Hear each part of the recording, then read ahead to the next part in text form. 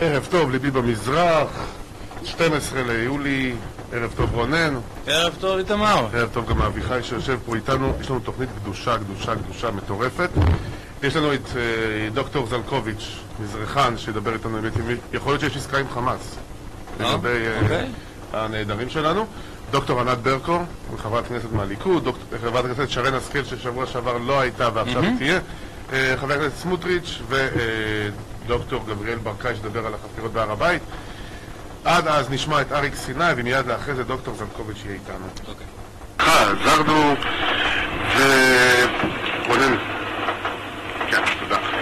אה, גופותיהם של סגן הדר גולדין, סמל ראשון אורון שאול ואזרחים אברהם מנגיסטו, הישאם שעבן א-סייד וג'ומעה אברהים אבו ענימה כל אלה עדיין בידי חמאס ולכן נמצא איתנו דוקטור עידו זלקוביץ', מומחה לפוליטיקה פלסטינית ומרצה בכיר וראש חטיבת לימודי המזרח התיכון במכללה האקדמית עמק יזרעאל שננסה לשחול לנו קצת אור בנושא. ערב טוב דוקטור זלקוביץ'. ערב טוב לך ולמאזינים איתמר. ערב טוב. ערב אה, טוב. ערב טוב. איתנו גם אה, רונן פייבר נמצא איתנו. ערב אה, טוב רונן. ערב טוב. בחמאס טוענים שיש מגעים מתקדמים בין ישראל אה, לבינם. בישראל טוענים שאין כאלו. מה מה הסיפור ומי פה משקר? תראה, אני לא יכול להגיד לך מי משקר ומי אה, מנסה להשיג כאן אה, הישגים. די ברור שבצורה כזאת או אחרת, מאז אה, תום מבצע צוק איתן לפני שלוש שנים, ממשיך להתנהל דרך מתווכים קשר בין שני הצדדים בנוגע לסוגיית אה, הגופות של חללי צה"ל והשבת אה, האזרחים הישראלים הנמצאים בידי חמאס אה, בחזרה לשטחנו. השאלה היא כרגע מי בחר לפרסם אודות המגעים אה, ופה אני יכול לומר לך שזו הייתה החלטה חד צדדית של אה, חמאס. האם חמאס מספרת לנו את כל האמת של מה שמתנהל מאחורי הקלעים ואני יוצא מתוך נקודת הנחה שאכן מתנהל איזשהו תהליך, איזשהו דיאלוג מאחורי הקלעים אה, והאם חמאס מספרת לנו את כל האמת, פה אני לא יכול לומר לך בוודאות אה, שחור או לבן, כן או לא. מה שכן ברור, שלחמאס יש אינטרס להוציא את הידיעה הזאת אה, החוצה אה, מסיבה מאוד מאוד פשוטה. חמאס היום נמצאת מבחינה גיאופוליטית בנקודה שבה היא חווה משבר חמור. היא נלחצה אלא כי היא קבעה שוב נמצא אה, דחוק לקרן הזווית. אין לה יותר מדי קלפים שהיא יכולה לשחק עמם, והיא חייבת לפתח צינורות חמצן אל העולם החיצוני, והצינור חמצן הראשי של הרצועה עובר דרך מצרים. גם כשאתה מסתכל, מעבר לנושא של התלות במצרים והרצון אה, לייצר איזשהו אה, הישג עבורם ועבור מצרים כמתווכת ושחקן אזורי חשוב, כשאתה מסתכל גם על הזירה הפנים-פלסטינית, אתה רואה שכרגע אבו מאזן החל למעשה ביישום חד צדדי של תוכנית ההתנתקות שלו מרצועת עזה. כן, אם זה עם החשמל או עם דברים אחרים. בדיוק חשמל, קיצוץ במשכורות ובמספר הפקידים שעובדים במנגנונים של, ממשלי, אה, של אה, משרדי הממשלה ברצועה, של הממשל העזתי. עכשיו צריך להבין, חלק ניכר מהאנשים שמבצעים היום את העבודה הביוקרטית ה- הממשלתית ברצועה מקבלים את אה, משכורתם מהרשות הפלסטינית בגדה. אנשים ברצועת עזה מסתכלים על ממשל החמאס, על שלטון החמאס, ורואים שאבו מאזן יכול למעשה, וזה מה שהוא עושה כרגע, לשחק איתם כבובה על חוט. חמאס, באופן רחב הייתי אומר, נכשלה, נכשלה כישלון חרוץ, בכך שלא הצליחה לספק את הסחורה לעזתים. והדרך היחידה שלהם כרגע לנסות ולזקוף לזכותם מספר נקודות בשיח הציבורי הוא דרך עסקת אסירים, שתבליט גם את התפיסה של המוקאוומה, של ההתנגדות כדרך שנושאת אה, פרי, כי בסופו של יום כשהעזתי מסתכל על המוקאוומה והג'יהאד שרפואת אה, עזה והחמאס התהדרו בהם, הוא רואה שהדרך הזאת פשטה את הרגל. שלוש כן, שנים אחרי צוק איתן, תראה, מוקאוומה זה כבר וחצי. 70 שנה יש מוקאוומה, זאת אומרת, זה לא משהו שפשט הרגל בכמה שנים של שלטון אה, חמאסי. כן, אבל אה, צריך לעשות איזשהו הבדל בין המוקאוומה כמושג רעיוני, תיאורטי, ובין יישום פוליטי שלו הלכה למעשה דה פקטו. חמאס נבחרה ואמרה, אנחנו היורשים של הפת"ח ושל אש"ף בכך שאנחנו מובילים את המאבק המזוין הפלסטיני וזו אמורה להיות האלטרנטיבה שאנחנו מציבים להידברות מול ישראל ולתהליך אוסלו. כשאתה מסתכל היום שלוש שנים אחרי צוק איתן על רצועת עזה, אנחנו מדברים על רצועה שחווה משבר הומניטרי חמור מאין כמוהו. אנחנו מדברים על uh, עדיין מספר של כ-50 עד 60 אלף פליטים פנימיים, יותר מעשרת אלפים בתים הרוסים, ולמעשה, אם חמאס הצליחה לתקוף ראש לעזתים בזכות זה שהיא ציירה את עצמה כגוף שהצליח להילחם בישראל 50 יום ויותר ולהרים את ראשם בכך שיצרה איזושהי סוג של גאוות אה, לחימה, אה, אם זה נכון או לא נכון, כן, זה לא הדיון, זה התמונת מצב הפנים פלסטינית, זה המסר של חמאס שהתרפים על החברה הפלסטינית. כרגע אין לה יותר שום קלף, אין לה יותר, איזה, אין לה יותר שום כלי שיכול להצדיק את המשך השליטה שלה על הרצועה בפני התושבים אה, המקומיים. דוקטור דלקוביץ', אה, איך אה, מתפרשת בשטח ההחלפה של ההנהגה, או בוא נאמר שינויי התפקוד בכיסאות המובילים בחמאס, העזיבה של אסמאעיל הנייה בעיקר, ומחליפו, איך, איך, מה, מה, איך זה מתגבש שם? מה קורה שם בשטח, בתוך התנועה? יש לנו איזה שהם מדדים לדעת איך מתקבלים הצעדים האלה? בפועל אני, אני אחלק את התשובה שלי לשני חלקים. קודם כל, חילופי הגברי למעשה העלו את קרנם של, הייתי אומר, אה, מצדדי הקו הניצי בתוך תנועת החמאס. יחיא סנוואר לדוגמה, מרואן ניסה, אלה הדמויות הבולטות היום, החזקות ביותר ברצועת אה, עזה. ותפיסת העולם של יחיא סנוואר כבעל הבית היא תפיסת עולם יותר ניצית. בניגוד למה שהיה נהוג בעבר, שהעניינים המדינאיים היו מנהלים בחוץ על ידי ח'אלד משעל, אה, הנייה עדיין נמצא בגדול ברצועת עזה, והתנועה שלו היא מוגבלת. הוא לא הפך להיות חלק מהנהגת אה, החוץ. כך שתנועת חמאס כרגע היא נמצאת תחת, הייתי אומר, אה, יותר ויותר מגבלות מבחינה מדינית. כשאתה לוקח את הנתון הזה, ובסופו של דבר מנסה להבין איך מסתכלים עליו מנקודת מבט ציבורית, סקרי דעת קהל אה, שפורסמו לאחרונה מראים בצורה חד משמעית שהשעביה, התמיכה העממית בחמאס ברצועת עזה נמצאת בירידה, בירידה משמעותית ובירידה אה, מתמדת. אם היום היו בחירות חופשיות דמוקרטיות ברצועה, סביר להניח שחמאס לא הייתה נבחרת. עד כמה התנועה הזאת נמצאת במצוקה? אם אתה שואל אותי, עצם העובדה שחמאס נענתה לדרישה המצרית לנהל איזשהו דיאלוג שיכול להוביל לשותפות עם מוחמד דחלן ואפילו לקבל אולי את המרות שלו כראש ממשלה אשר יגייס תקציבים מבחוץ וינהל את העניינים של הרצועה מבפנים מראה עד כמה הם באמת נתונים במשבר. אתה שמעת פעם השאלה אם זה טוב לנו כן. כמדינה, זאת אומרת, השאלה אם זה טוב לנו, כדי שיש ייאוש, בדרך כלל שלטון יותר רדיקלי עולה. מבחינת. נקודת המבט הישראלית, ברור שעדיף לנו שמוחמד דחלן ייכנס אה, פנימה לתמונה, שיגיעו כמה שיותר תקציבים ממדינות המפרץ הערביות, איחוד האמירויות, אה, דרך מצרים, ושכל כובד המשקל האזורי אה, של רצועת עזה יונח על כתפיהם של המצרים. הכניסה של מצרים ומוחמד דחלן לתוך התמונה הופכות באופן חד משמעי את כל הסיפור לסיפור שמנוהל אה, בצורה הרבה יותר סדורה, הרבה יותר שקולה, אה, ומאפשרת לישראל בעתיד גם להפעיל יותר מנופי לחץ אה, על חמאס. האם זה מה שבאמת חמאס רוצה? אם אתה שואל אותי, התשובה היא לא.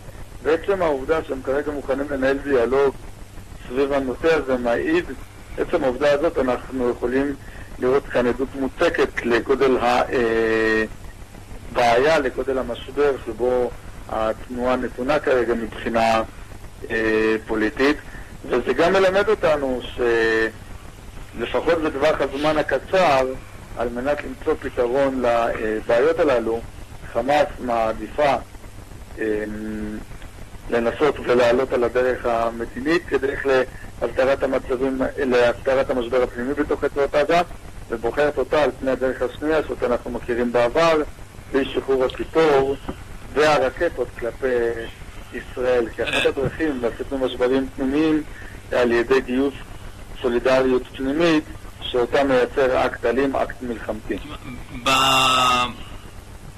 בתווך הפוליטי הפלסטיני, איך זה שלא נוצרת איזושהי תנועת אה, אמצע נקרא לזה בין האסלאם לבין, ה... נקרא לזה, הפטריוטיזם הפלסטיני, הפתחי, הלאומי, איך זה שלא נוצר איזשהו גוש אמצע שמנסה להוביל איזשהו כיוון ביניים בין שתי המחנות? כי הרי אם, אם נמשיך לעסוק רק בחמאס וב... כן, בבקשה.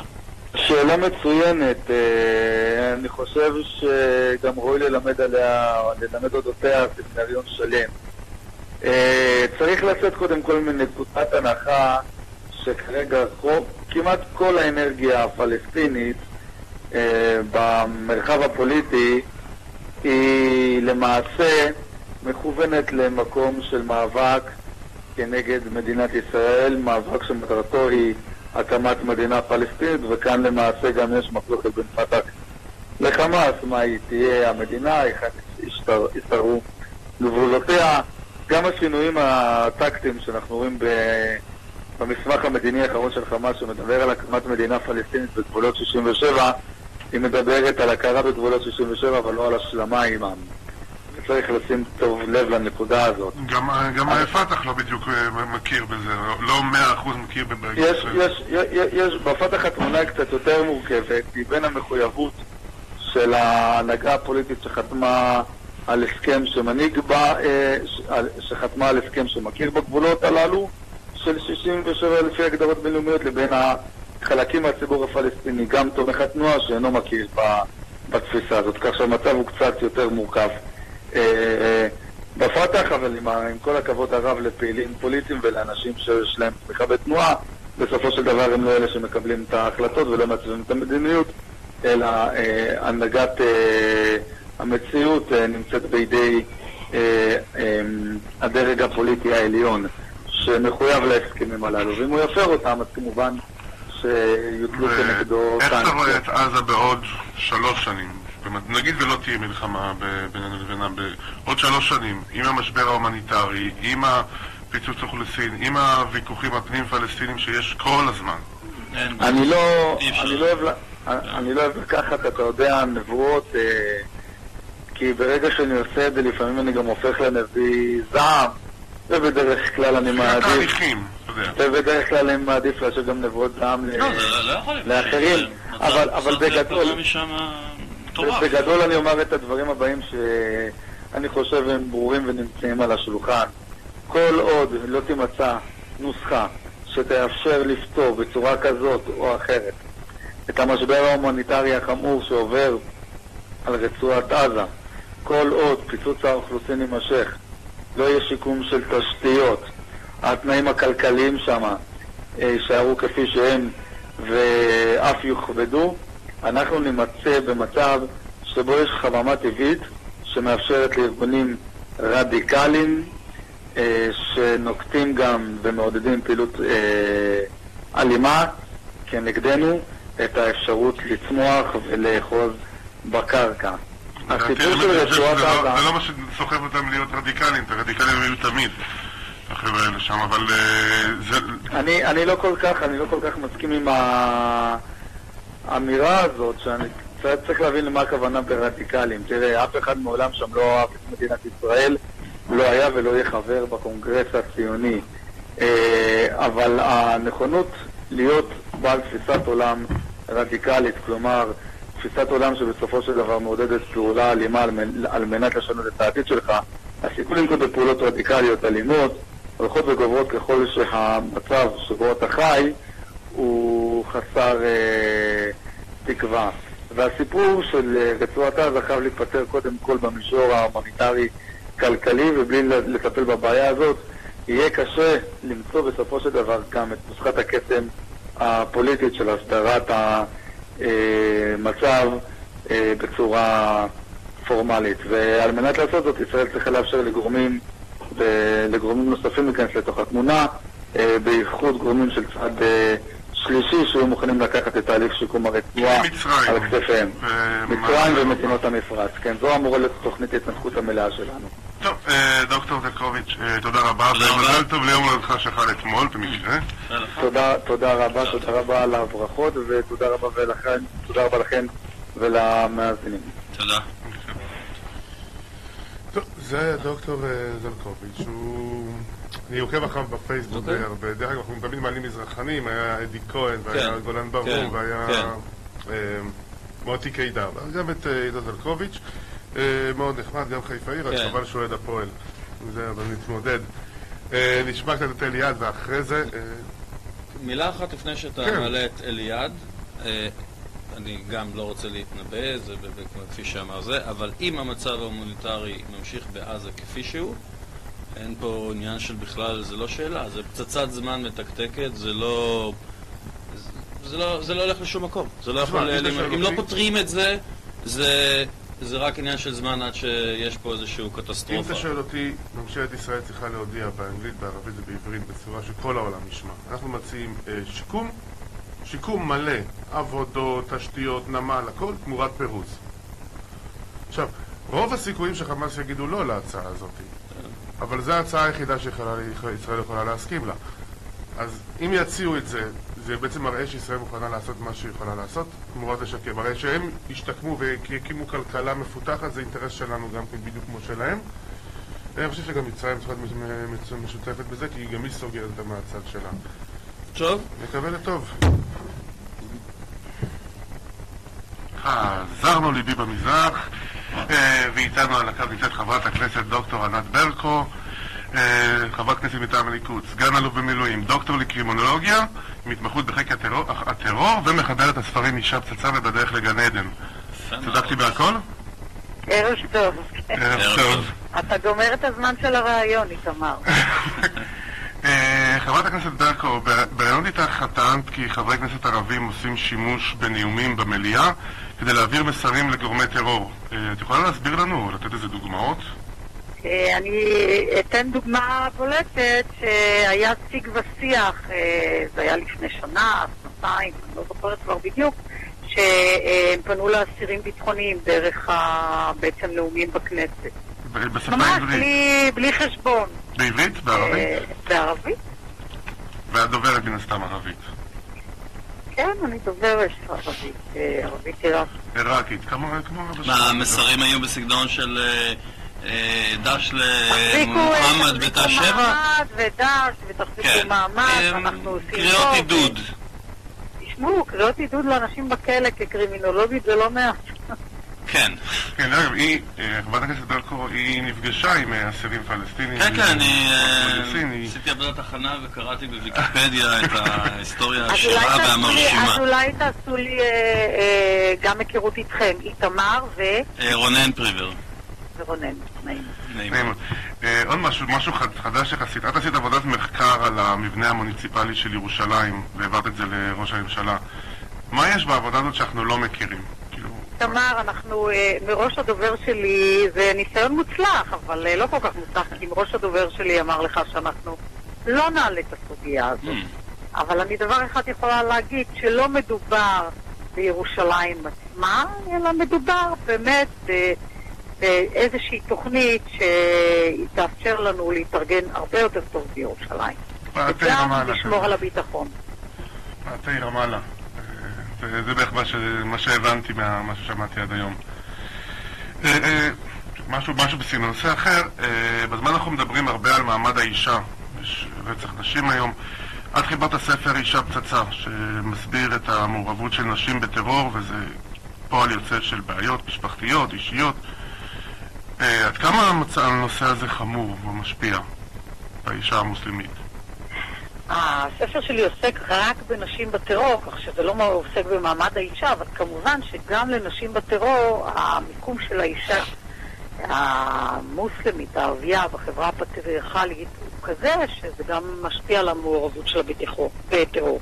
אני אתן לך דוגמה, למשל, כשאנחנו רואים צעירות שמגיעות למחסומים ומשליכות סכינים, והמון פעמים אה, מנסות לתקוף חייל או אה, לוחם מג"ב, לא משנה כרגע, אז אה, היא רוצה לברוח מהבית, היא רוצה לברוח מנישואים כפויים. היו כאלה שראיינתי בתוך הכלא, שהיו מקרים שלא הייתה הסכמה על הנוהר, ואז אה, הנקמה היא מהאבא.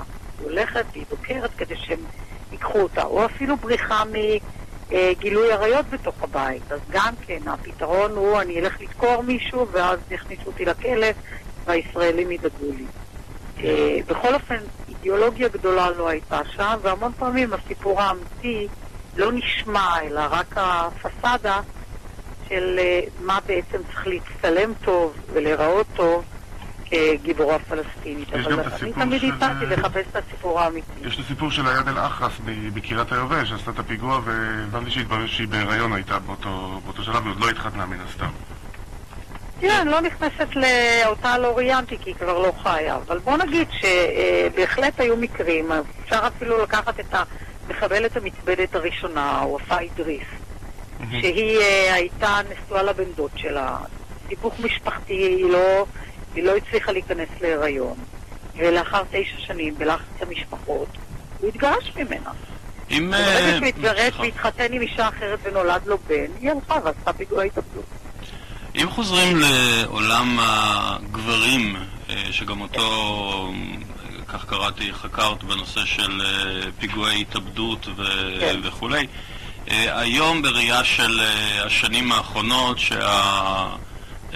נקרא לזה, ההתאבדויות האסלאמיות הן כבר מחזה יותר נפוץ גם במקומות שונים בעולם, והיא צריכה לשים את האצבע על המכנה המשותף המרכזי, העיקרי, השורשי ביותר שמניע את הגבר המוסלמי להתאבדות, מה היית אומרת שהוא? אה, רונן, קודם כל רצח והתאבדות. ככה אנחנו נקרא, הם רוצחים מתאבדים, לא אוקיי. סתם מתאבדים. בסדר. ובראייה שלי אני חושבת שהתופעה כפי שהיא נחקרה על ידי בהחלט כיספה את העניין הזה. יש איזה מונח שטבעתי, והצעתי אפילו להכניס אותו ל-DSM האמריקאי כהגדרה פסיכיאטרית, אה, והוא מדבר על... מה זה אה, DSM דרך אגב? דיקשנרי משהו? זה ספר שנותן את כל ההבחנות של מחלות נפש. אה, אוקיי, טוב. לא מדובר, לא מדובר במחלת נפש ברמה הפרטנית, לא חולה נפש. אבל ברמה הקולקטיבית יש איזושהי הפרעה שאני הצעתי לקרוא לה שהדה מניה. אנחנו רואים את זה גם בקרב אנשי דאעש. זאת אומרת שבהרבה מאוד מקרים יש את האובססיה, מין דודה כזאת בתוך הראש, שחופרת להם כשהם מדמיינים בצורה מאוד מאוד ברורה את מנעמי גן העדן. הם ממש רואים את זה, הם יכולים לתאר מה מחכה להם בעולם האלטרנטיבי הזה, שאליו הם הולכים, שהוא יותר טוב מהעולם הזה, וכל מה שאסור בעולם הזה מותר שם. ולכן אה, זה מחנה משותף. נשמע אנשים מדאעש מדברים על גן עדן. כן. ג'אבת אל-נוסרה ומהחמאס, הם ידברו דברים דומים. כן, הדבקות שלהם בעולם האמונה היא כזאתי שזה עבורם אה, מציאות אמת לכל דבר ועניין. אה, נכון, זאת מציאות אמת, אבל בוא נגיד שהם לא כולם מאוד דתיים. אני למשל עשיתי את הדוקטורט שלי על המשלחים. וגיליתי להפתעתי שהם לא כאלה משלחי מתאפים, כן. הם לא כאלה דתיים. אז הם אפילו הסבירו את זה. זאת אומרת שאנחנו יכולים לראות גם אנשים שהם נראים לנו כמו שהיו מתאבדים מהפאפה. והם לא, הם טוענים אפילו שהם חילוניים. אבל אין חילוניות בחברה הזאת, זו לא חברה שיכולה להיות חילונית. גם ערפאת, שכביכול לא היה דתי, הוא תמיד הביא אה, דוגמאות, שהוא דיבר על הסכם חודביה, ביוהנסבורג על ההסכם עם ישראל, על הסכם אוסלו, אז הוא הביא את הדוגמאות מהעולם התוכן הזה. כהסכם ש... כדוגמה להסכם שהופר על ידי הנביא מוחמד. כן, שמתי לב באמת שהרבה מחבלים מתאבדים, הם בעצם צעירים בגיל 13 כן. עד 18, זאת אומרת סוג של גיל ההתבגרות שמבטיחים להם מה יהיה בגן עדן עם כל הבחורות וכולי. יש לזה גם איזשהו מימד או שזה... הצעירות היא בהחלט מימד של אה, הקטע שאפשר לנצל אותם, מחכים לצעירים קטינים ליד בתי ספר, ומסתובבים אותם, ומסתובבים איתם, מגייסים אותם, או מאפשרים להם לראות ולהסתובב עם השב"ב. וזה בהחלט הצעירות היא, הצעירות היא גיל שהוא מועד לפורענות, וצריך לשמור על ילדים בגיל ההתבגרות. ועל- וגם פה, כן, אבל את רואה... כל כך אה, סגורה, והנושא של המיניות הוא כל כך מודחק וכל כך סגור, אז אמר- אני, היה לי מקרה של בחור שסיפר לי שהוא בעצמו בתול והוא מחכה לבתולות גם. לא היית מבדילה בין הצעירים שהמניע הוא יותר אה, אה, פטריוטי, אה, נקרא לזה סחף, שטיפת מוח לא שלא על בסיס דתי, לבין המתאבדים בחוג היותר רחב וממניעים כפי שציינו קודם? אין הבחנה? הממד הדתי הוא קיים והוא נותן את הצידוק המוסרי להיותם כאלה שבראייה שלהם שעושים משהו טוב והם לא תופסים את עצמם כרוצחים. אז המימד המוסרי נלקח מתוך אה, כל מיני צידוקים דתיים, כן. צידוקים, אני לא מתאבד, זה שיטת לחימה, זה משהו טוב. בהחלט אומרים את זה. איך זה להיות בכנסת, חבר הכנסת אה, ברקו? טוב, אה, אתה רואה, אני תמיד מעדיפה לדבר על טרור מאשר על ה... למה? איך זה להיות שליחת ציבור? זה בטח משהו אה, נפלא. אני חושבת שזה מאוד מאוד קשה. אוקיי. אני עכשיו בדרכי אה, מהכנסת, וזה היום ש... אני חושבת שזו השעה המוקדמת ביותר שהגעתי השבוע. העבודה היא סביב השעון. מאוד מאוד קשה אם לוקחים את העבודה ברצינות. בתוך הוועדות. היא מאוד משמעותית, היא מאוד לא מתגמלת, אה, במובן הציבורי. ואני חושבת שבהרבה מאוד מקרים, אתה חרוץ של לגנוב חוק בין אנשים פוליטיים, בין עשייה אמיתית, זה דבר שהוא בהחלט מטריד. אותי אוקיי. באופן אישי. ומה היעד הבא שלך? שרה? שרה לביטחון פנים? אה? אה, כן, אני, מה שאני עושה, אני גם בכנסת, אני חברת ועדת חוץ וביטחון, ושש ועדות משנה, אני יושבת ראש ועדת משנה מסווגת לסייבר, אה, ואני חברה בוועדות מאוד מיוחדות, ולכן אה, אני בהחלט, אה, אני בהחלט אשמח אה, לעסוק בנושאים הביטחוניים גם בעתיד. אה, כמובן שהשרה לביטחון פנים זה נראה לי תפקיד מעולה. בבוא העת, עכשיו אני מחוקקת חוקים שהם עוסקים בביטחון ולמען חיילי צה"ל ולמען נכי צה"ל. אני עכשיו הקמתי שדולה למען נכי צה"ל. זה מאוד מאוד חשוב. שאלה אחרונה לפחות אה, אה, מבחינתי ברשותך. אה, כיוון שבאמת את נוגעת בנושא מאוד רגיש ואת אה, בקיאה גם בעולם הערבי, אה, מה, איזה מקום מצאת כן לחדור את החומה הערבית-מוסלמית ללב שלהם? איפה כן מצאת מכנה משותף שיכול למשוך אותם לעבר איזשהו משהו שהם מפסיקים להיות בגדר איום והופכים להיות בגדר אנשים שאפשר לחיות איתם בטוב. מה, איפה... מצאת מקום ללב גם שם? תראה, אנחנו, אני מדברת על uh, מחבלים, אנחנו לא מדברים כמובן על אה, ערביי ישראל שהם אזרחים לכל דבר.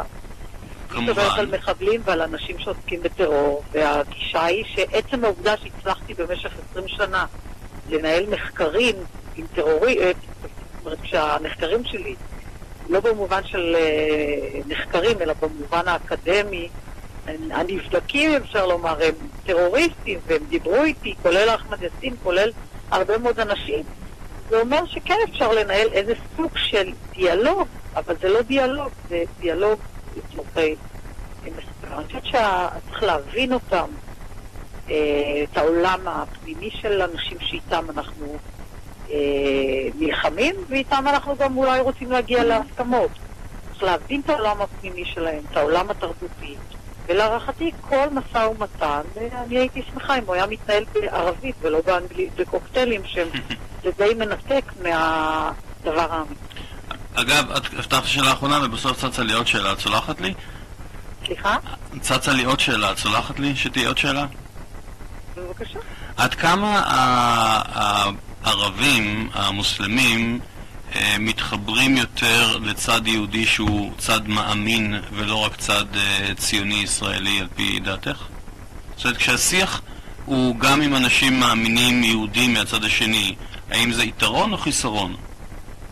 אני חושבת שיש אה, שיח בין אנשים דתיים, הם יכולים להבין את התחושות של מישהו שהוא דתי, ובסך הכל אה, כולם מאמינים באותו אל. מהמם. כל אחד קורא לו אחרת, אבל זה יכול להיות. אבל אני חושבת שהקטע התרבותי הוא הקטע הכי חזק של להבין את העולם, את דרך החיים, את הכוח המאגי של השפה, את היכולת אה, לתקשר ברמה האנושית, לא מתוך התנסות, ומתוך אה, באמת אה, גישה שהיא גישה של אה, הסתכלות על בני אדם, בני אדם עם אותם כאבים ועם אותם דאגות עם ילדים, וזה דברים שאנחנו בעצם אה, לא חושבים. חברת הכנסת דוקטור ברקו.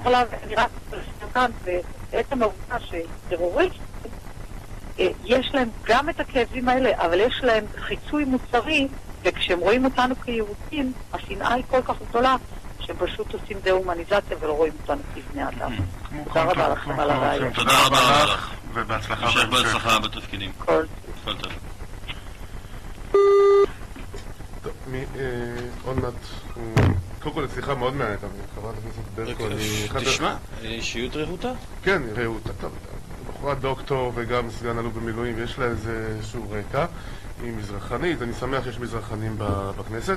אה, נשמע שיר מיד אחרי זה, חברת הכנסת שרן השכל. אמרתי לך שיש לנו תוכנית קדושה, אז אה, נמשיך. טוב, תודה לברי סחרוף, הענק. אה, אתה יודע שהתחלתי, אני עושה את התואר השני שלי גם באוניברסיטה הפתוחה, ואתה יודע מי עוד למד באוניברסיטה הפתוחה? חברת הכנסת שרן השכל, ערב טוב לך. ערב טוב, ערב טוב. ערב טוב, חברת הכנסת שר- שרן השכל, אה, אה, חברה במועדון הדיבט של האוניברסיטה הפתוחה, זה דבר שרציתי תמיד להירשם אליו. נכון. אבל אני ממליצה לכל המאזינים. כן, התואר הראשון שעשיתי בפתוחה, השני גם בקרוב בעזרת השם. זה קשה, אוניברסיטה פתוחה זה דבר מאוד קשה. נכון, אני צודק? אם זה המועדון עצמו, אם הוא קשה, לא, אני מדבר על או האוניברסיטה. הפתוחה, הממ"נים וכל ה... אה, כן, תראה, זה לא פשוט, זה מאוד תלוי באופי של, אה, של אותו אדם שלומד שם. לי זה היה מאוד מאוד נוח, גם כי התחלתי את הלימודים באוניברסיטה הפתוחה כשעוד חייתי באוסטרליה. אז זה נתן לי הזדמנות אה, גם לעבוד ולהרוויח בעצם, אה, אה, אתה יודע, אה, שכר, וגם בלילה בעצם לשבת וללמוד מול מחשבים, גם כאשר אני נמצאת בחו"ל, ולהמשיך את הלימודים בעצם כאשר אני חוזרת לארץ. אז אה, מבחינת הגמישות, מי שצריך גמישות, מי שנוח לו יותר ללמוד לבד ולא אה, בכיתה עם מורה, בלי אה, כן, גם. מי, מי שאומנם, אה, אתה יודע, ההורים קצת פחות יכלו לעזור והיה צריך לממן את הלימודים לבד, אז כמובן שזה גם כן יותר נוח, כי זה מאפשר לך גם להמשיך לעבוד. האמת שלא בגלל זה. איתמר, סיימת עם האוניברסיטה? אני לא אה, אה, טוב, האמת שאנחנו יודעים שאת אה, תומכת באי הפללה של צרכני קנאביס נכון. ואני חייב לשאול אותך לגבי הנושא של לגליזציה, שזה דבר שמדובר עליו בזמן האחרון.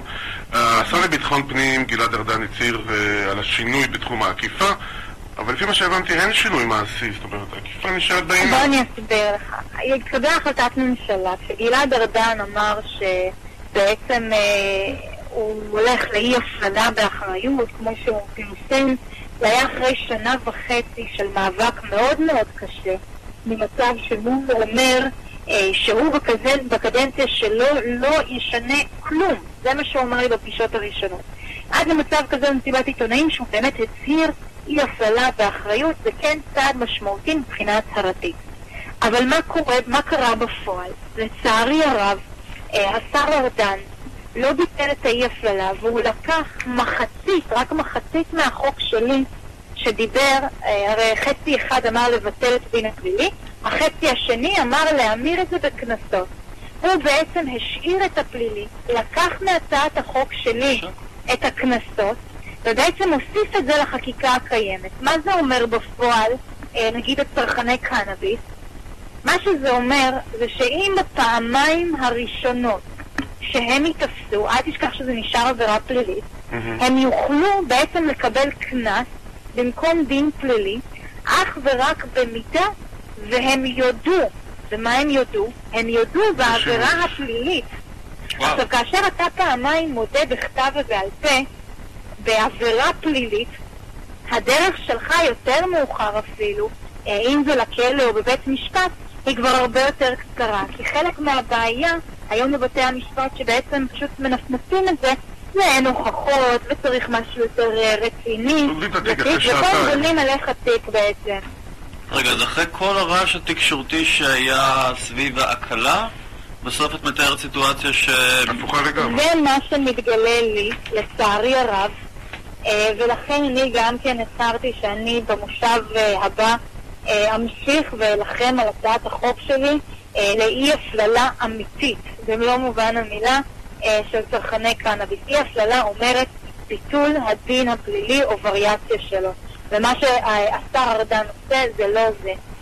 יש לי שאלה אלייך בנושא של הקנאביס. אה, מה ההערכה שלך לגבי הגלישה של השימוש בקנאביס אה, לכיוון של בני נוער? זאת אומרת, מכל התופעה הזאת של העישון אה, ג'וינטים למיניהם, אה, הדבר היחידי שבאמת קצת, לי באופן אישי, קצת מטריד את המנוחה, מה שנקרא, זה הזליגה של המרחואנה לכיוון של הגילאי 15, 16, 17, שאני אפילו לא שופט אם זה טוב או רע, אני רק שואל מה... אז תראה, כמה, יש לי כמה דברים לומר על זה. הדבר הראשון הוא שעד היום, גם כשהפחדת את בני הנוער ואמרת להם, נו נו נו, אתם תשבו בכלא, זה לא הרתיע אותם. נכון. ועובדה שהמספרים בעלייה. זאת אומרת שהגישה הזו היא לא גישה נכונה. וצריך בעצם לפנות לגישה שבה משתמשים בהרבה מאוד חלקים אחרים בעולם. שיטה של חינוך, של מודעות. תראה, אה, אבל זה יזלוג, את רואה, אותם, כן, זה יזלוג לשם. אתה, אתה מדבר מה מרתיע בני נוער למשל, אוקיי? אתה, הם לא חושבים על הטווח הארוך. תאמר להם שתהיו גדולים, לא תוכלו לעבוד במשרה מסוימת, ויהיה לכם תיק פלילי. הדברים בטווח הארוך לא מרתיעים בני נוער, אבל משהו בטווח המיידי, כמו למשל קנס כספי, שפתאום כואב להם, שההורים פתאום, אתה יודע, אומרים להם, טוב, תצאו לעבוד ותעשו משימות, פתאום זה בעצם כן מרתיע אותם יותר. נעשו מחקרים והבני נוער חושבים יותר על הטווח המיידי. בנוסף לכך, אני דיברתי אה, עם מישהו אה, בכיר גם באלסה. הוא מעריך שיש בסביבות ה-3,000 בני נוער שבעצם משתמשים בצורה קבועה בקנאביס. מתוכם אלף מגיעים לאלסם. למה האלפיים האחרים, רק שליש לא מגיעים אליהם? הוא אומר שזה מתוך פחד שבעצם אה, ילשינו עליהם ויפתחו להם תיקים פליליים אחרי שהם מגיעים. והוא טוען שבמידה והדבר הזה לא יהיה פלילי, תהיה לו, יהיה לו הרבה יותר קל להגיע לכל שלושת אלפים בני הנוער על מנת להעביר אותם גם תוכנית של חינוך, של מודעות, שהיא הוכח, הוכחה כאפקטיבית ביותר. דרך אגב, עדיף לי שיעשו את הג'וינטים שלהם בגינה פה למטה מאשר שישבו על בקבוק וודקה. זה... לא, אני אמרתי שוב, אני לא שופט, אני רק שואל אם לא. כאילו נסו, מה, איך זה, איך זה משפיע תראו, על, אה, את יודעת, גיל בסופו 15, של 16, דבר- בכל זאת, גיל הדין. כן. תראה, בסופו של דבר, כשאנחנו מסתכלים, אם ניקח אפילו את המקרה הכי קיצוני, אה, אדם, וכל אדם, בין אם הוא בן נוער או, או בוגר, אדם שהוא בעצם מכור, מכור קשה גם לסמים או לאלכוהול, שגם באלכוהול אפשר להתמכר. זאת, אותו האדם הזה נמצא באיזשהו בור, בתחתית, שגם הוא נראה לי לא האמין שהוא יגיע אליו. האם זה שעכשיו תשליך אותו לכלא ותפתח לו תיק פלילי ותהרוס לו את כל העתיד, זה יהפוך אותו לא לאדם מתפקד בחברה הישראלית? ממש ממש לא. ממש לא. הוא לא. צריך לעבור סדנאות של גמילה. אתה יודע שהיום כדי להיכנס למתקן גמילה, אתה צריך להמתין בין שישה חודשים לשנתיים? כן אז. בואו כן, נדבר כן. באמת על... לא, לא, אני, אבל עכשיו אני חוזר, ומדגיש שאני לא שאלתי את זה מתוך אה, איך מונעים את זה, אלא פשוט תהיתי איך נראית ההשפעה של זה. אה, אבל אוקיי, בסדר גמור, אנחנו... שאלה אישית, כן. חברת הכנסת השכל, את ניסית פעם מריחואנה? אה, יצא לי להתנסות אה, בצעירותי, אבל זה באמת לא בשבילי, ולי אישית זה לא עושה טוב. כמו אני ואלכוהול, אתה יודע. שאלה אחרת, במה שרואים בחדשות את מאוד פעילה, גם בזכות האנגלית המצוינת שלך, בפעילות ההסברתית נגד ה-BDS. האם הניסיונות הדרה שאנחנו עושים עכשיו לארגונים תומכי BDS, אה, כל הפעילות שלנו נגד שוברים שתיקה או בצלם, בעצם אנחנו מעניקים להם כוח שלא היה להם קודם. זאת אומרת, אה, בזה שאנחנו מזכירים אותם כל הזמן. אה, תראה, אני מבינה את אלו שטוענים לדבר הזה, ואנחנו צריכים גם כן להתמודד על מול אתגרים כדי לוודא שהם לא הופכים להיות באמת משהו שמאיים על מדינת ישראל. היום הם לא. הם באמת ארגונים שוליים, שבאמת אה, אה, אין צורך לתת להם יותר מדי יחס, אבל כדי שהם לא יהפכו למשהו שבאמת עלול לאיים על מדינת ישראל, צריך באמת אה, לבוא ולבצע איזה שהם אה, דברים מסוימים, לוודא שהם לא מתפתחים למצב כזה, וזה בכל דבר. אה, כשמשמיצים אותנו בצורה כזו ומפיצים שקרים, אה, ואתה יודע, שולחים אותם לאו"ם כדי, אה, אה, כדי לומר את הדברים האלו, אה, חשוב מאוד שנדע להתמודד עם זה לפני שזה הופך להיות בעיה רצינית, ולכן טוב גם שראש הממשלה מעמיד אולטימטומים אה, לנפ- בעצם אה, נציגים מחו"ל שבאמת הולכים ומקשיבים אה, אה, לדברים הללו. מה- עכשיו בגרמניה לא מרשים לארדואן לדבר עם אה, אנשים אה, טורקים בגרמניה. בדיוק. אותו דבר.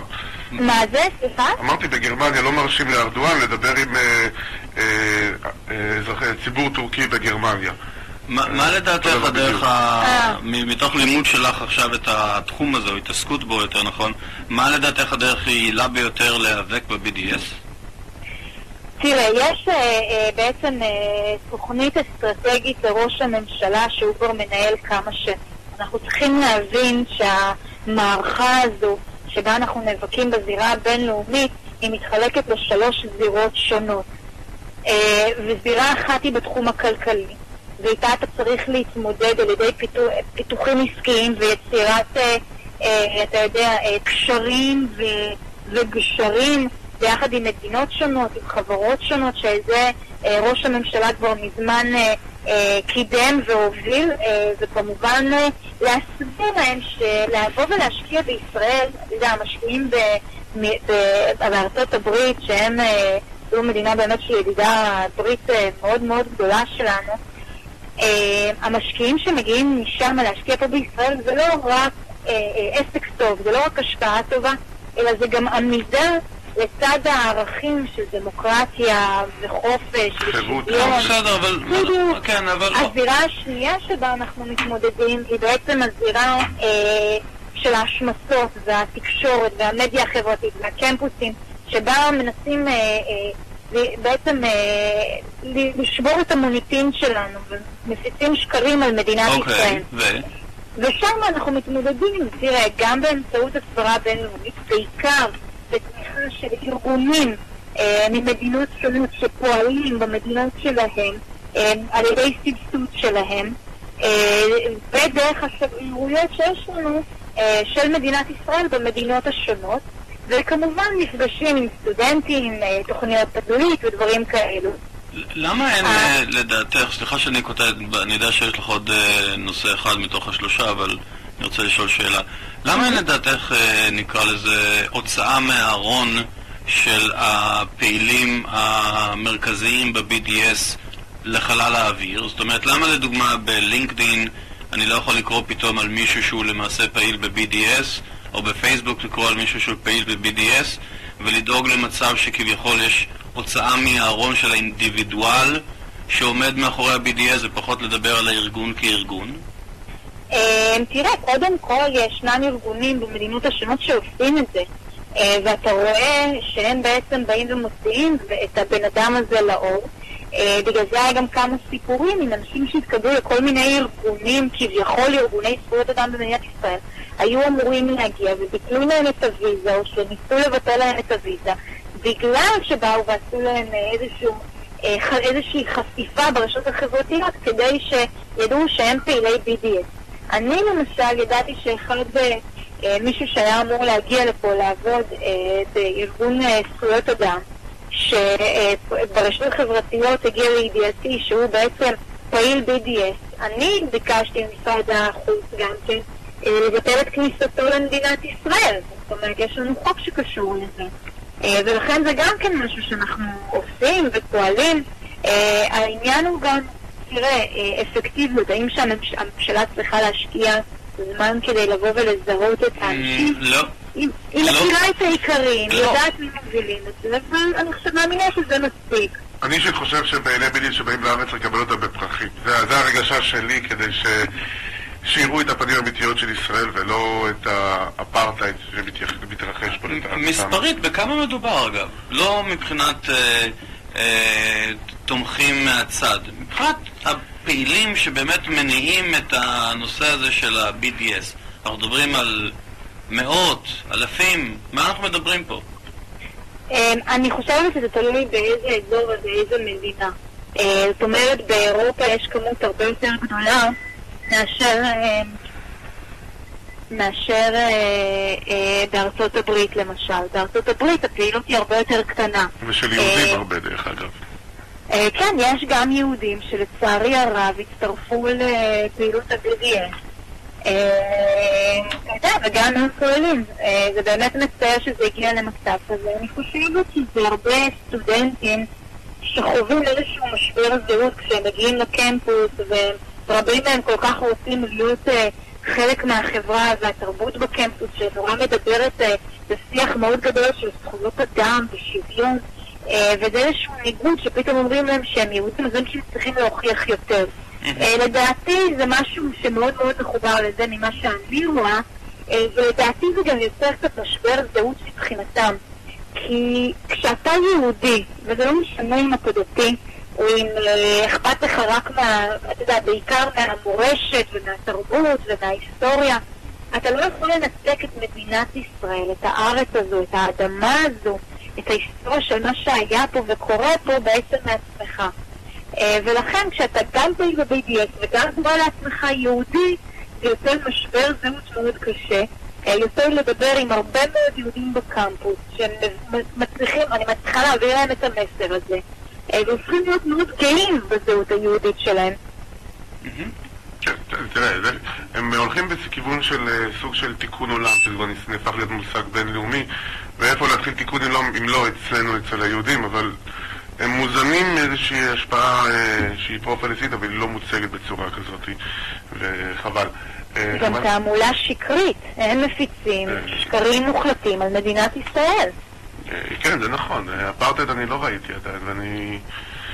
השקר הכי מגוחך זה באמת אפרטהייד. תמר, אני יכול רק את שלב השאלה הזהה? עכשיו השאלה הזהה. איך זה להיות אחד מתוך 120? וואו.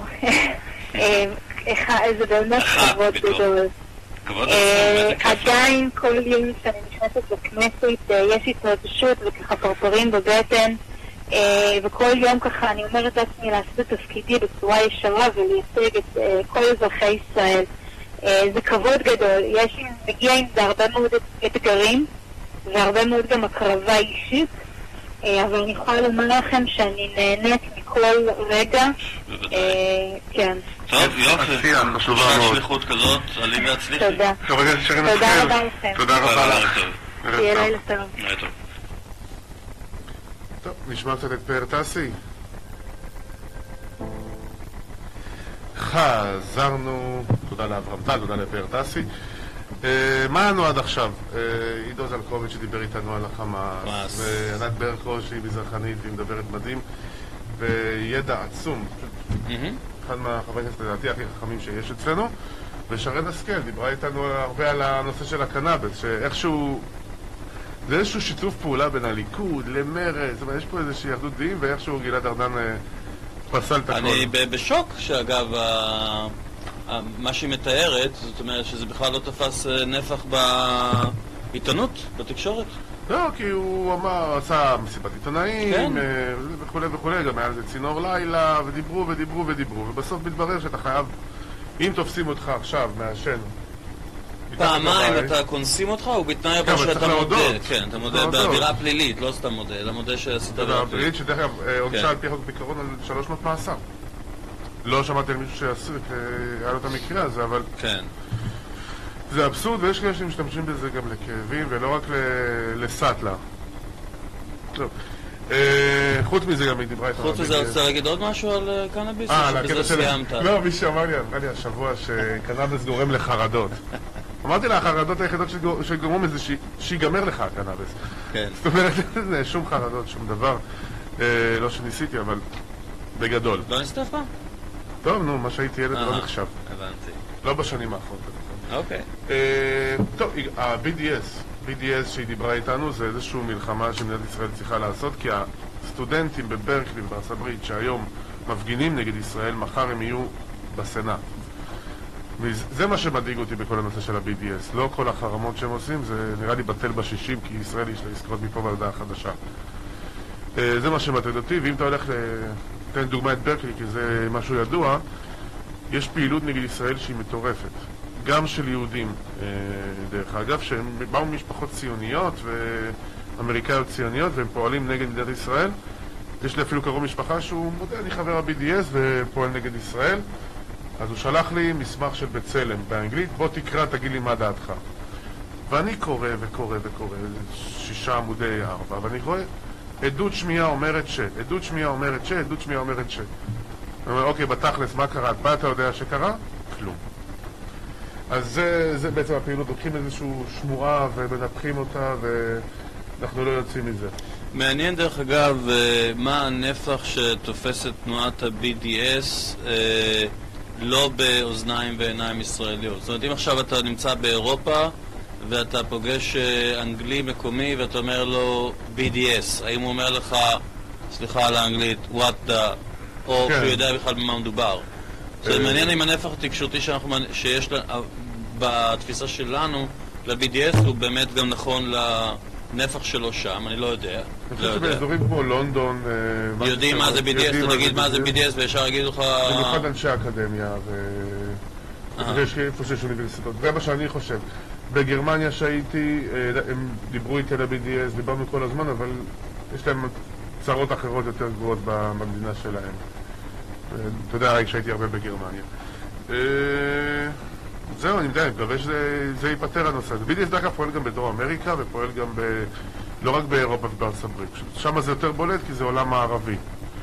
כן, עכשיו תראה, כמו בכל אה, סיגנל שמדינת ישראל מקבלת מהעולם החיצון, וה-BDS זה עוד סיגנל, פעם זה סיגנל יכול להיות רקטה שעפה, פעם זה יכול להיות BDS שזה. השאלה היא מה התיקון שכביכול אה, עם ישראל צריך לעבור על מנת למנוע את הנזק הזה של ה... של ה-BDS, זאת אומרת, אה, תראה, לא שאני בא להלקות את עצמנו, אבל אלה תמיד סימנים חיצוניים לומר לנו, תשמעו, משהו בתפקוד שלכם כאור לגויים איננו שם, ולכן עכשיו אתם תחטפו את זה BDS, מחר תחטפו את זה אחרת, אבל אתם תחטפו משהו. אני יכול להגיד לך שאני אני חושב שעיקר הבעיה שלנו זה בורות, שלנו כישראלים, גם שלהם. הבורות היא מנצחת בשנים האחרונות, ואני ממליץ לך לקרוא את הספר של בן רומיני, אה, תעשיית השקרים, שהוא מדבר על אה, דברים שה-BDS או גויים אנטי-ישראלים אומרים, שהם שקר מוחלט. זאת אומרת, אולי יש איזה משהו שקשור לאיזשהו אמת, ניצוץ של אמת, אבל שקר מוחלט. לדוגמה, אה, שישראל אה, פוגעת בהשכלה הגבוהה בשטחים, ביהודה ושומרון וברצועת עזה. אבל אם אתה בודק לעומק, ב-67' לא היה מוסד אחד להשכלה גבוהה בשטחים. היום יש להם אה, שלושה אוניברסיטאות, תשעה קולג'ים. זו טענה שקל... אה, והפלסטינאים זה העם הכי אינטלקטואל בעולם הערבי. הכי הרבה בעלי תואר ראשון יחסית לגודל האוכלוסייה. לא, ישראל גם כן יש טענה של ישראלי, של עידן פפר, שאומר שישראל לא עושה ג'נוסייד רגיל בפלסטינים, אלא, פוג... אלא דואגת לתמותת תינוקות. מהמם. ואז מסתכלים, מסתכלים על הגרפים של האו"ם, ורואים, תמותת תינוקות רק יורדת והמצב של ברשות הפלסטינאית יותר טוב מאשר בטורקיה ויותר טוב מאשר בהרבה מדינות במזרח אירופה. מערב אירופה אולי לא. וזה, הרבה בזכות הרפואה הישראלית שנכנסה בעצם ליהודה ושומרון ב-67. אז, אז להגיד משפט, סיסמה, שישראל עושה ככה, וזה מה שזוכרים בסופו של דבר. מה שקורה באמת, מה זה משנה? אני יכול, אז uh, בן רומיני כתב על זה טור, הוא אמר, אני עכשיו יאשים את uh, מנכ"ל שוברים שתיקה, או אותה הנהגה, בהטרדה מינית ואונס. אני יש לי חיסיון עיתונאי, לא יכולים לשאול אותי איך הגעתי למידע הזה, אבל אני יכול להרוס אנשים, להרוס את, להרוס את החברה הזאת בגלל טענה שקרית. ונגד זה הוא נלחם בעצם ופועל, וזה מה שהוא עושה בשנים האחרונות דרך אגב. אה, נשמע קצת מוזיקה, ואחרי זה יהיה איתנו אה, בצלאל סמוטריץ', שהבן אדם שמואשם לאחרונה בקריאה לג'נוסייד, לא פחות ולא יותר. אז נמשיך עם קצת דנה פרקר. חזרנו. איתמר, טוב לחזור. תקשיב, כן. אה, בזמן שאנחנו ממתינים לחבר חבר הכנסת אה, סמוטריץ'. סמוטריץ' שיענה, אה, עלה, בזמן האחרון יש את הנושא של, לא בזמן האחרון, אבל מפלגת העבודה. עבודה, דיברנו אוקיי. גם שבוע שעבר. אבל אני לא רוצה לעסוק כרגע במפלגת העבודה, אני רוצה לעסוק במושג הזה שנקרא מפלגה. אוקיי? משהו זאת אומרת, ב... בשורש, כי כששמעתי גם את... אה, פילוג. אה, כן, של פילוג. נכון. עכשיו, זה ברור שזה דבר והיפוכו, זאת אומרת, המטרה של הכניסה לכנסת היא לייצר איזושהי, אה, אה, נקרא לזה, אמת קולקטיבית עבור כולם, או לאחד את השורות, או ליצור איזה... לא ליצור debate, אני דווקא חושב. אה, ככה אני רואה את זה, שהכנסת זה משהו, ואתה רואה את זה גם בארצות הברית, שיש ויכוחים לא, לא, סוערים, כן, אני. אני, זה, זה ברור, אבל אה, במהות הכנסת הייתה צריכה להיות מנהיגות המדינה. מנהיגות המדינה הייתה צריכה לייצג באמת, אה, בוא נאמר, אה, דעות וזרמים שונים, אבל הכיוון או החזון או הנתיב בגדול היה אמור להיות איזשהו אחיד. גם היום זה קיים, דרך אגב. יש איזשהו חזון משותף לכולם, כולם רוצים בהמשך קיומה של מדינת ישראל, כולם רוצים ב... יש איזשהו משהו משותף, אבל בכל זאת ההגעה לחזון המשותף היא דרך המילה מפלגה. והשאלה אם לא הגיע הזמן לנער איזשהו משהו ב... המושג מפריע לך? במוס... מאוד מפריע. תראה, כשבארצות הברית היה המפלגה הראשונה, אפשר להגיד המפלגה הראשונה בהיסטוריה בצורה כזו או אחרת, שג'פרסון הקים המפלגה הרפובליקנית. זה בעצם המפלגה הדמוקרטית, פשוט קראו לה אז הרפובליקנית, וכשהקימו עוד מפלגה, הוא לא ראה את זה טוב, כי זה גם מאותה סיבה שמה שאתה אומר לי עכשיו, גם, גם באנגלית, פארדי, פארדי, זאת אומרת, זה גם סוג של פילוג. הוא לא ראה את זה טוב, למרות שהוא היה דמוקרט ובעד דמוקרטיה, הוא לא ראה, אה, לא ראה את זה טוב, את האפשרות של כניסה של עוד מפלגה. אה, בסופו של דבר נשארו רק, נשארו רק עם שניים. כן. היה תקופות שהיה להם שלוש, אבל פה זה נגמר. תשים לב שגם במפלגות הישראליות יש ניסיון לפצות על המילה. זאת אומרת, מפלגת הליכוד. הליכוד. כן. מפלגת אה, כולנו. כולנו. מפלגת איחוד לאומי. איחוד לאומי. זאת אומרת, יש איזה משהו שגם אה, מנסה כנראה אה, מובנה שמנסה לפצות על ה... אני שומע שמות של מפלגות, אני לא מבין מאיפה מביאים אותם. יש מפלגת התנועה. כאילו שם שממציאים באותו רגע, מפלגת עצמאות הייתה, אם אתה זוכר, של אהוד ברק, שהוא לקח שלושה חברי כנסת מהשמאל, הביא אותם לביבי. אה, מה היה לנו עוד? בכלל, מפלגת העבודה החליפה נראה לי הכי הרבה שמות. ממפא"י, למערך, לעבודה, ישראל אחת. אה, מה דעתך האישית על אה, מר אבי גבאי, אם כבר מדברים? אה? תראה, אני מספר את הבחור, אבל הנושא הוא שמפלגת העבודה הצביעה משהו מאוד מעניין. המחנה הציוני. המחנה הציוני, כן, המחנה הציוני. כן. הם עשו משהו מאוד מעניין. הם לקחו קודם כל, מי שנבחרו לסיבוב השני זה שני אנשים שהם לא מפלגת העבודה במהות שלהם. מזרחיים, אחד, אחד משדרות, זה לא, זה לא אנשים של מפלגת העבודה, ומי שנבחר בסוף הוא מישהו שבכלל אתה לא, לא היית, היית מדבר איתו, לא היית יודע שהוא מפלגת העבודה. הצביע ליכוד, היה בכולנו, אה, קפיטליסט בכל רמ"ח איבריו, זה לא מישהו מפלגת העבודה פרופר. בטח לא, עמיר פרץ הוא עוד מפלגת העבודה מה... אגב, אני לא יודע אם. מישהו שהיה בהכרח מנכ"ל בזק הופך אותו לקפיטליסט בכל רמת לא, חייו. קפיטליסט... יכול להיות שיש לו השקפת. עולם אה, שונה, אבל עיסוקו זה עיסוקו. תראה, לא- מפלגת העבודה היא לא מפלגת לייבור אמיתית, זאת אומרת, זה כבר לא מה שהיה כן. בשנות ה-70, זה מפלגת... כן, זה דיבר- דיברנו בתוכנית של כן, נכון. נכון. הליכוד אמור להיות כאילו משהו ליברלי קפיטליסטי, וה- והעבודה אמור להיות משהו סוציאליסטי, וזה כבר מזמן לא ככה. שניהם הולכים ימינה לגמרי בנושא הזה. אהוד ברק היה מאוד אה, לא סוציאליסט ב... שמת לב שהנושא שהוא אמר שהחיינו וקיימנו והגיענו לזמן הזה תפס כותרת כאילו... כאילו. מה? מה? לא יודע, אני... במשפחה שלי נהוג להגיד את זה שקורה משהו חדש. לא, לגמרי, לא, ראית איזה כותרת זה תפס, אפשר לחשוב, כאילו מה, מה נאמר שם? לא, אני לא יודע, יודע, כשמנהיגים אומרים God bless America, God bless America, נכון. זאת אומרת, זה נשמע כאילו בייסיק, נכון. ופה לא תשמע מנהיגים עולים ואומרים שאלוהים ישמור על עם ישראל, כי הם, May God preserve the queen, אה, או לדוגמה, המלכה, כן. לא תשמע את זה בעברית. תראה, אני יכול להגיד לך על ארצות הברית, שאמרנו לפני שתי דקות, נדמה לי, אמרתי שה-50% מהאזרחים הם דתיים, בצורה כזו או אחרת. למרות שיש אה, הפרדה בין דת למדינה, 50% הם דתיים, זאת אומרת, ההתייחסות לאל היא מאוד משמעותית. בגלל זה רשום את זה בשטרות, בגלל זה... אצלנו הישראלים, אני חושב ש-20% דתיים נחשבים? משהו כזה. לא, אני טועה? אה, טועה בגדול. מה אתה מגדיר דתיים? מה זאת אומרת דתיים? הולך לבית כנסת כל. לא, לא. מאמינים? מאמינים זה משהו אחר. אז מאמינים זה החשוב. כי גם הדתיות האמריקאית זה לא בדיוק... אה, לא, יש הרבה כנסיות. כן, יש הרבה. צ'רצ'ון סנדיי, זה מה שאומר. כשאתה מדבר על הדתיות האמריקאית 50% אתה מתכוון למאמינים אמריקאים. כי הביטוי הדתי הוא באמת, הוא... קשה, קשה לך למצוא את ה... גם ככה הנצרות זה לא בדיוק... אה, אין לה יותר מדי דרישות מהמאמין. אבל בכל. מקרה, אם אתה מפלח מאמינים, אני חושב שהגוש המאמין בישראל הוא כמה? באזור ה-50%? אה, כן, 50%.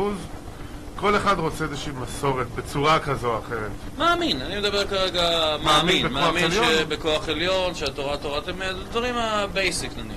אוקיי, אה, תראה, הכוח עליון זה אחד, תורה תורת אמת זה כבר משהו זה גם נכון, ניסיתי לחבר בין השתיים. ניסית לחבר, כי... לא, אמרתי לך, אני התעסקתי בביקורת המקרא הרבה זמן, אז אה, אני, כל פסוק אני בודק מי רשם אותו ולמה.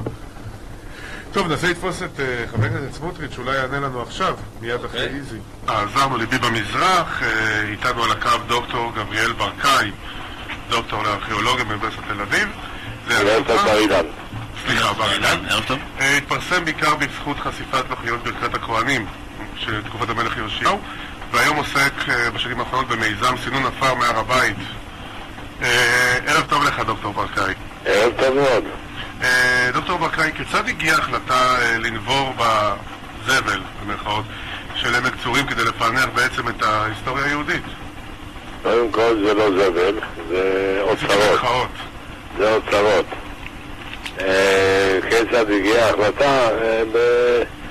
בשנות ה-90 השתנה הסטטוס קוו בהר הבית, שבעקבותיו הוואקף המוסלמי החליטו אה, לעשות פעולות בלתי חוקיות, בין השאר חפרו בור ענק mm-hmm. באמצעות בולדוזרים, בצורה פיראית, ברברית.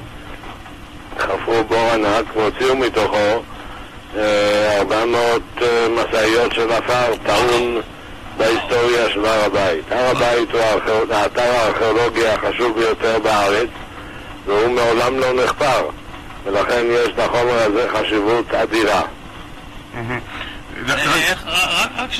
איך זה קרה? ש-400 משאיות יצאו עם כל כך... איך זה קרה?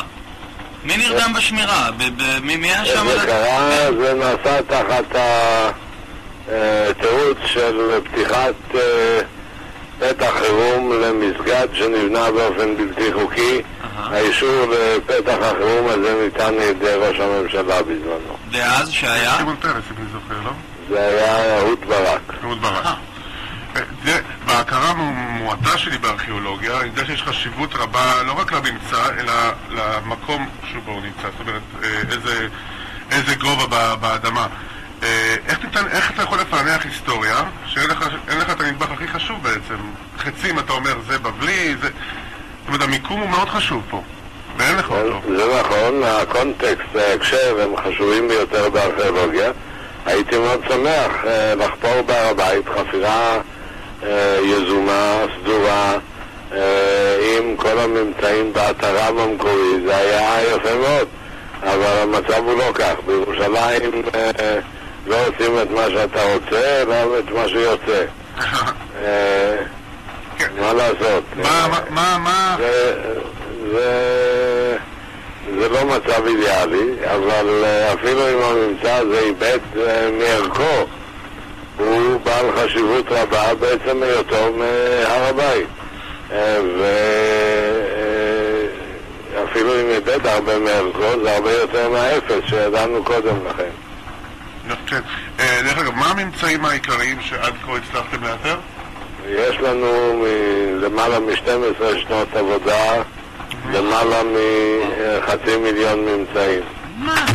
הממצאים הם רבים מאוד, מסוגים שונים. ברובם הגדול הם אה, פריטי ממצא זעירים. יש לנו חתמות, תביעות חותם, מטבעות, תכשיטים, כלי משחק, אה, מכשירי כתיבה. יש לנו כמות גדולה מאוד של הליכי ריצוף, של רעפי גגות, של חלקים של בתי מרחץ. משהו של הלגיון העשירי, מן הסתם. והכל, הכל, כל התקופות, בעיקר למין ימי הבית הראשון ועד ימינו. את המנורה עוד לא מצאנו, נכון? לא הבנתי. את המנורה או ארון הברית, משהו תנכי עוד לא הצלחנו למצוא. יש לנו הרבה ממצא תנכי, כלומר, הממצא הקרמי, 15% מהקרמיקה המתוארכת היא מימי התנ"ך, מימי הבית הראשון. סוף תקופת בית ראשון, יותר יאשיהו חזקיהו או ש... לא, לא, יש לנו גם מימי דוד ושלמה. כמות גדולה, ראשי חיצים, חותמות מאותה תקופה, כולל גם קרמיקה. מה היה הממצא בה"א הידיעה בעיניך מתוך תקופה של העשור? הממצא זה כמובן אנשים. השתתפו במפעל הזה למעלה מרבע מיליון איש. תשובה יפה, כן, כן, אבל אני... תשובה יפהפייה. לראות את ההתעקשות על הפרצוף של ילד שמוצא מטבע בין אלפיים שנה, אין לזה תחליף, אין לזה... בסדר, תשובה יפהפייה, אבל בכל זאת, הפריט הארכיאולוגי שבעיניך היה לו את ה... נקרא לזה ה... זה כמו ששאלת אבא איזה מהילדים שלו הוא הכי אוהב. נו... אם היית מוצא את מנורת המשכן, היית אומר המנורה. אני בכל זאת, בממצאים שמצאת. אני אתן לך דוגמה אחת. אני אתן לך דוגמה. למשל, יש לנו בולה, שזה גושטין ועליו כתובת. הכתובת היא של גאליהו בן אימר, בכתב העברי העתיק. הבולה הזו, תביעת החותם הזו, היא על גוש קטן של טין שהיה צמוד לשקית של בד. שהכילה בזמנו את אוסף הכסף של מישהו. כאשר על החותם יש בצד אחד תביעה של האריק של השקית הזו שבה היה האוצר, ובצד השני ישנה תביעה של האיש, של החותם שלו, שרצה שאף אחד לא יפתח את השקית ולכן חתם באמצעות החותם שלו את השקית. כתוב שם גאליהו בן אימר. ומשפחת אימר היא משפחת כהנים ידועה, משמר השישה עשר מתוך עשרים וארבע משמרות הכהונה. החותם הזה הוא מהמאה השביעית לפני הספירה. סוג של מנכ"ל בית המקדש, משהו כזה. זה מהמאה השביעית לפני הספירה. כלומר בין 2,600 שנה. תקופת יאשיהו כזה בערך, ימי יאשיהו, ימי הנביא ירמיהו. והדבר המעניין הוא שבספר ירמיהו, באותה תקופה, מסופר על הנביא ירמיהו שנאסר על ידי פשחור בן אימר.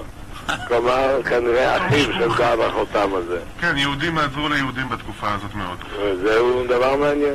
בכל אופן, על האיש הזה, פשחור בן אימר, כתוב שהיה פקיד נגיד בית השם. כלומר, היה אדמיניסטרטור הראשי של המקדש בירושלים.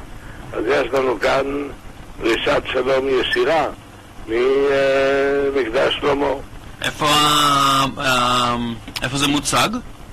הממצאים עדיין לא מוצגים, הם נמצאים לגבי מחקר. אוקיי. דרך אגב, מימון הפרויקט, לפני כמה חודשים שמענו את ראש ממשלת ישראל בנימין נתניהו מבטיח עזרה ואחרי זה אנחנו שומעים שבעצם הפסיקו את הפרויקט בשק של מימון. אכן הפרויקט הופסק לפני כשלושה חודשים בשל רצוננו להתמקד בעיקר במחקר. כאשר עברו כל 12 שנות התפעול של הנושא לא קיבלנו אפילו אגורה אחת של מימון ממשלתי. אכן ראש הממשלה הבטיח, פגשתי את ראש הממשלה יחד עם אחרים מהפרויקט, צחי דבירה שהוא שותפי לעבודה יחד עם עוד אחד מארצות הברית שמנהל איתנו את הצדדים הכספיים והובטח לנו אני מקווה שראש הממשלה יעמוד בהבטחתו, בינתיים לא נתקבל דבר. ראש הממשלה הוא בן של היסטוריון, הוא צריך להיות בעל רגש לנושא הזה. ראש הממשלה הראה עניין רב. אני חייב לשאול אותך לגבי כארכיאולוג. בשנת 67' משה דיין העניק אוטונומיה לאנשי הוואקף על הר הבית. אולי אתה יכול להסביר לי כיצד אדם שמאוהב בארכיאולוגיה חוסם את האפשרות למחקר ארכיאולוגי באתר הכי חשוב בעולם? זה לא מצדה או ביתר, זה... אני לא יכול להסביר. אתה לא יכול להסביר. לא. אוקיי.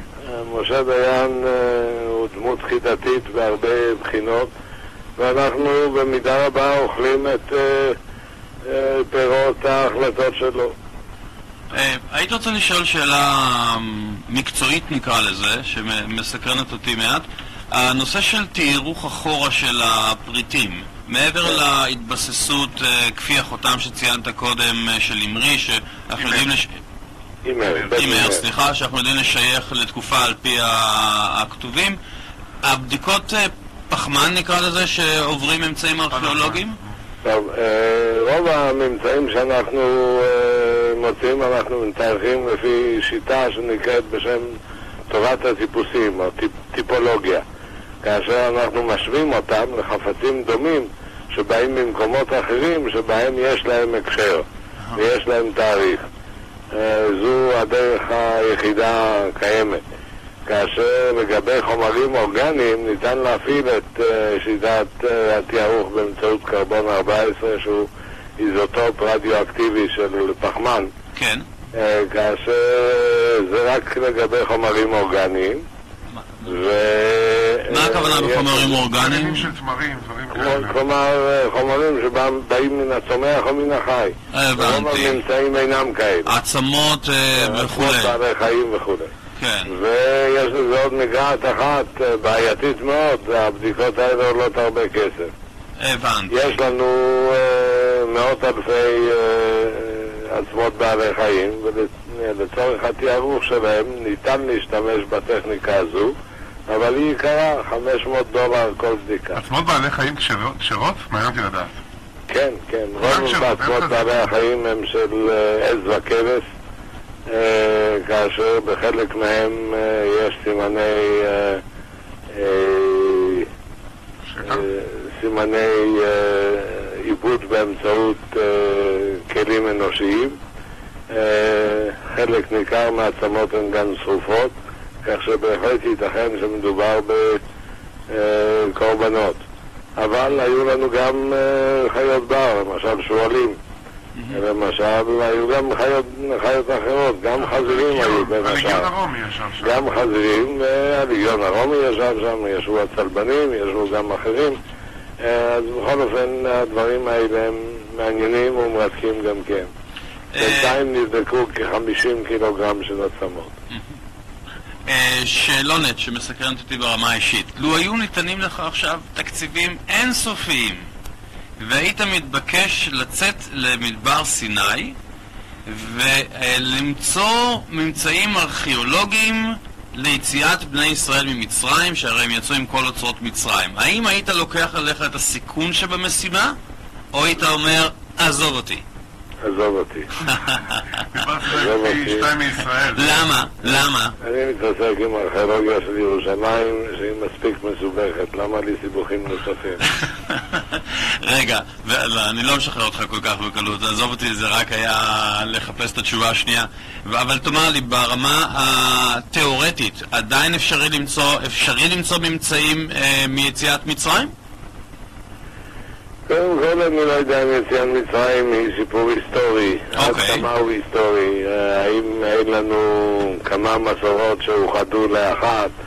האם זה הר סיני, הר חורב, הר פארן או הר האלוהים? האם כל אלה הם אותו מקום? האם המסלול שלהם הוא צפוני, מרכזי בסיני, או אולי דרומי, דרך חבל ההר של סיני, כך שסיני גדולה פי שלוש מישראל. כן. זה לך תחפש מחט בערימת שחת. זה אתגר, הבנתי. כן. טוב, אוקיי, בסדר. היינו כמה שנים בסיני, רבים חיפשו, התוצאות הן עגומות. יש כמה אופציות של הר סיני, אבל אף אחד לא יכול להעיד בוודאות שפה... ידידך שמחה יעקובוביץ'? שמחה יעקובוביץ', אה, הוא כן אה, מדי פעם, ראיתי תוכנית שלו שהוא מנסה למצוא את... אה, הוא איש טלוויזיה, אבל... כן, הבנתי. הוא לא ארכיאולוג. הוא פרפורמר. הוא ארכיאולוג, הוא זכה בפרס אמי לסרטי תעודה, ואני מקווה שיישאר בתחום של אה, עשיית סרטים. וזהו טוב. לאחרונה הם פרסמו שאת הרצפה של בית המקדש של הורדוס בעצם הצלחתם לשחזר, בזכות העבודה. אה, יש לנו סדר גודל של כ-600 תאריכי ריצוף. זה לבד מלמעלה מששת אלפים מטבעות, כאשר ערכי הריצוף, חלק מהם שייכים לימי הבית השני, ומצאנו שמבחינה מתמטית הם תואמים את התקן של הרגל הרומית. ואחרי שראינו את זה, ראינו שרוב האבנים שמהם עשויים ערכי הריצוף האלה הם אבני יבוא מאיטליה, מאסיה הקטנה, מיוון, מטוניסיה ומקומות אחרים. יכולנו גם לשחזר את הדגמים של ההרצפות האלה דבר שנעשה באמצעות הכלים המתמטיים ובעיקר בעקבות uh, מקבילות שיש באיטליה וגם בארמונות של הורדוס בארץ לרצפות כאלה. כן, רואים את זה במצדה שדי די דומה. אה, חייב לשאול אותך, איפה אפשר לראות מוצגים של הר הבית? זה משהו שמרתק. בינתיים הממצאים שלנו אינם מוצגים לציבור, הם נמצאים בשלבי מחקר. כן, ראיתי בטלוויזיה, הם יושבים בתוך קרטונים באיזה משרד מוסווה. יש לנו אה, מעבדת מחקר ששם הם יושבים, בשלב זה. אוקיי. אה, דוקטור ברקאי, אה, תודה רבה על השיחה המרתקת הזאתי, ובהמשך בהצלחה. תודה רבה. אנחנו נשמח לכל עזרה של הציבור. כן, אפשר להיכנס לאתר שלהם, אפשר להיכנס למצוא ולתרום. אני תרמתי. האתר? מה שם האתר? כן. דוקטור ברקאי. דרך גיבק. אוקיי. דרך גיבק, אוקיי. אוקיי, אפשר לתרום, אני תרמתי גם כן כסף, מאוד נחמד, מקבלים גם... אה, אה, איתמר, מתן בסתר, מתן בסתר. תודה רבה. דוקטור ברקאי. כל טוב.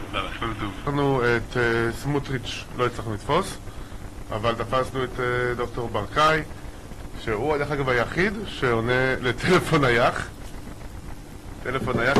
דרך אגב, התגלית הכי חשובה שלו אני הזכרתי את זה בהתחלה, זה בעצם לוחית שכתובה שם ברכת הכהנים, איזשהו קמע שנראה נתנו לילד או לא יודע למה, מכסף, יברך השם וישמריך, בדיוק אחד לאחד מצאו את זה בתוך קמע. לקח להם כמה שנים לפתוח את זה בלי לפגוע, חיפשו טכנולוגיה איך לפתוח את הקיפול הזה, לא ידעו מה יש בפנים. זה התגלית הגדולה שלו. כן, אגב, היה... לא היה בדיוק, קראתי במקרה... כן, יש איזה כמה... משהו, איזה... זה קיצור של... כן, אבל... אה, לא, היה חסר איזה מילה, לא, לא בקיא בפרטים, אבל נפלא, כן. כן, זה משהו... כן, יאיר אדוני פניו. דרך אגב, אה, מי שהתראיין אצלנו במספר פעמים, דוקטור אדי כהן, הוא יוצא בהרצאה חדשה ב-28 לשביעי.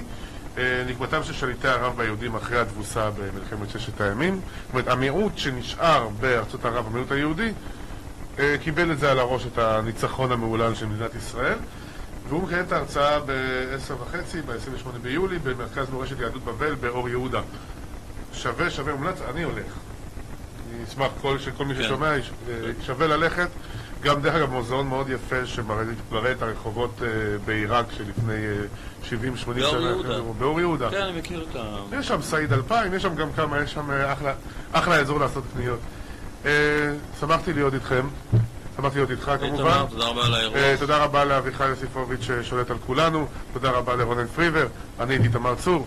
תודה רבה לכם. נשמח אם תהיו איתנו גם בשבוע הבא. משה פרץ, ולילה טוב.